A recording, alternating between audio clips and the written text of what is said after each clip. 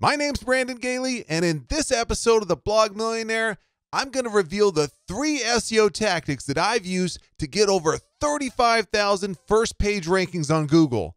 These rankings drive over 1 million visitors to my blog every single month.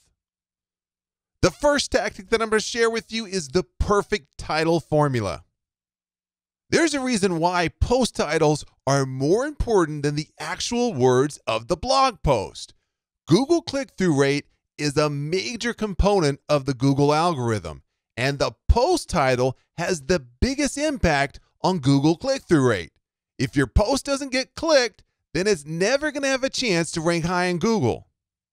And several studies have shown that 8 out of 10 people will read the headline copy, but only 2 out of 10 will read the rest. And here's the perfect title formula it's odd number plus superlative plus the exact keyword phrase. An example of this would be 21 for the odd number, best for the superlative, and photography tips for beginners. Another example would be 11 great WordPress plugins for SEO. The exact keyword phrase is going to be taken from phrases that you identify during your keyword research. Whatever phrase you want to rank for, you want to make sure you use that exact keyword phrase right there in your title. You might be asking yourself, why do you start your blog post title with a number? Well, it's because people prefer to click on titles with numbers because they expect to get an article that they can easily scan. And it's also been proven that people prefer titles that start with an odd number over an even number.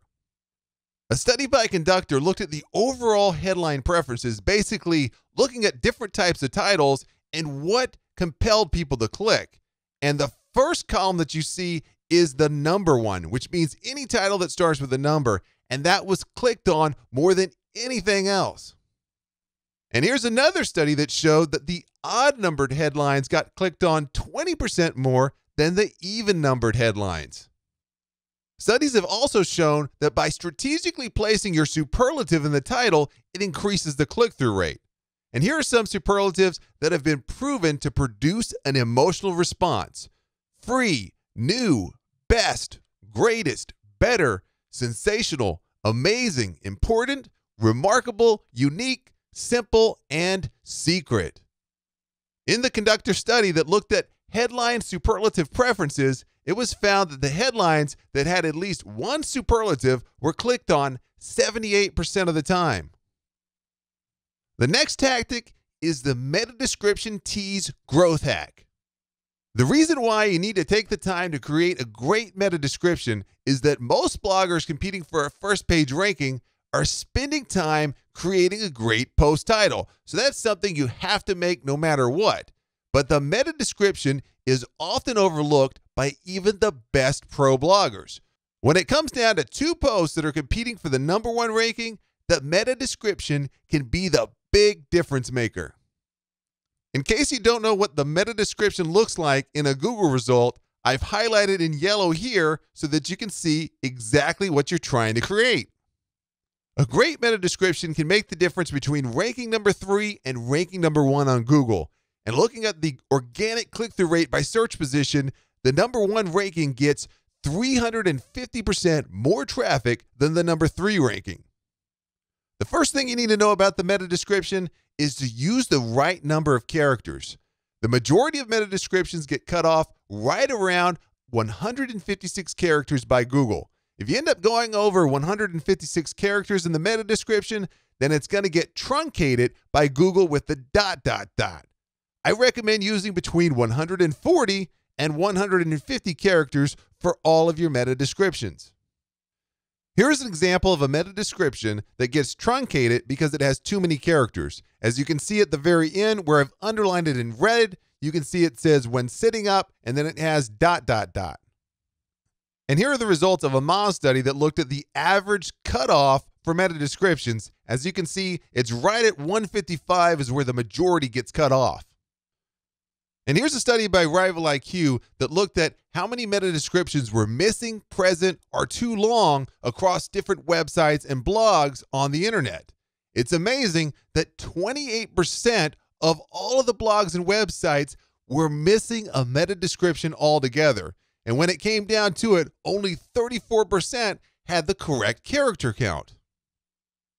Googlers are used to seeing the dot dot dot at the end of descriptions, and you can take advantage of this by creating a meta description that intentionally truncates the description. Let me show you an example of this growth hack in action. So when you look at the top of this slide, I've got a result of one of my posts that is using the truncated tease. As you can see, the title is in blue, which is 11 on-page SEO best practices. And then right below that is the description, and it reads, there are 11 on page SEO tactics that pro bloggers use to get ridiculous results. The one tactic that plays the biggest role in SEO is dot, dot, dot.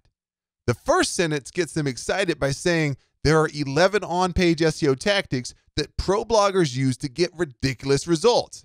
Then the second sentence delivers the truncated tease. It says the one tactic that plays the biggest role in SEO is dot, dot, dot.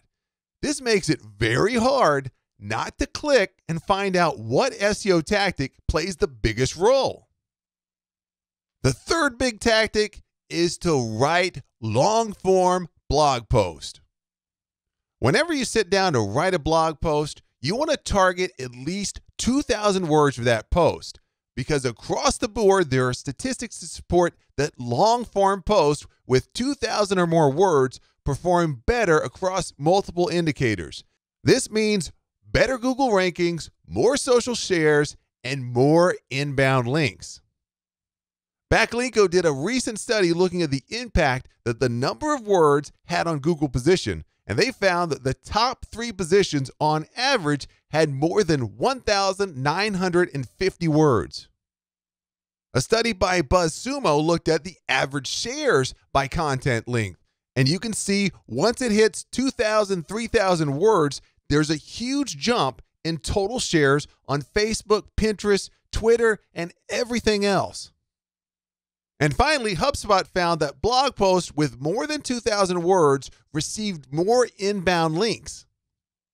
If you want to get free access to all of my SEO and blogging growth hacks, then take a quick second to subscribe to my podcast. Follow the big orange arrow and click on the small icon in the bottom left hand corner to be taken directly to my podcast right now. This will allow you to become an SEO master while listening to each episode on your daily walk or your commute to work. I want to thank you for taking the time to listen to this episode, and I'll catch you in the next one.